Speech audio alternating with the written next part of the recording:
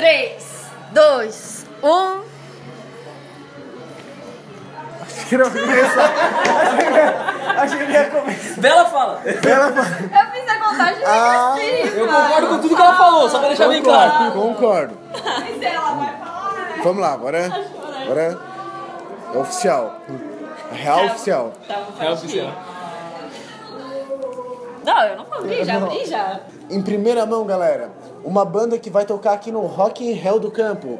A Dark New Farm, de Nova Fazenda, Laguna, Imbituba, Tubarão. Um lugar do daquele mundo. lugar ali, perto do litoral sul. A Epimob, todo mundo. Todo, todo mundo. Está aqui o Harley. Aí, Headbangers, vamos, tocando, vamos estar tocando lá. Temos novidades aí pra esse show, nova formação, músicas inéditas que a gente tá preparando pra levar lá. Então convida todo mundo aí pra ir.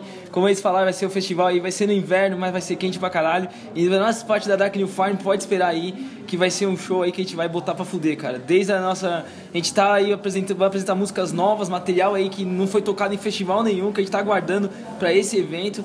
Então aí quem puder aí assistir o show da Dark, todas as outras bandas, né? E a gente como mídia também a gente vai pular do palco, vai estar lá cobrindo também, vai estar fazendo a divulgação. E vamos que vamos, mais um evento aí e botar pra moer.